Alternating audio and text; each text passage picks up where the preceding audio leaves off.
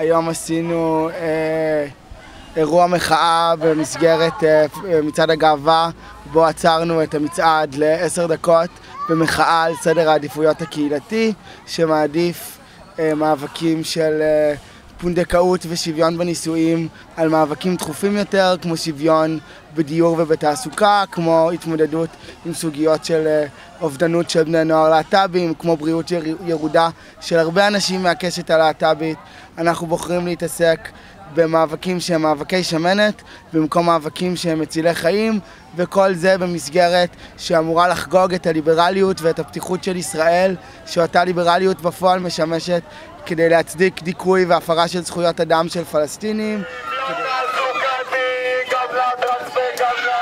פינק וושינג זה מדיניות קבועה של אה, משרד החוץ, אה, משרד ההסברה הישראלי אה, שמתקיימת כבר כמה שנים בעצם הרעיון הוא לנצל את העובדה שחלק מהקהילה, חלק קטן מהקהילה, מקבל בישראל זכויות שהוא לא מקבל במקומות אחרים באזור.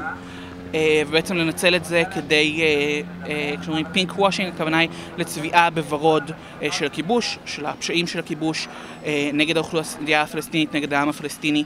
המאבק שלנו אה, הוא המאבק אה, להסיר את שכבות הוורוד אה, מהפשעים של הכיבוש ולחשוף אותם. להט"ב פלסטינים שחיים ברצועת עזה חיים בכלא, בכלא הגדול ביותר בעולם כיום.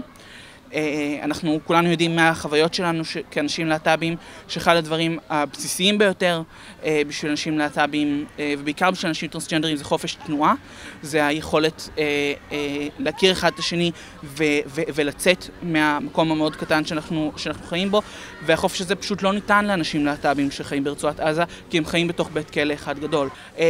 והמדיניות הזאת היא גם לא הוגנת כלפי להט"בים ישראלים.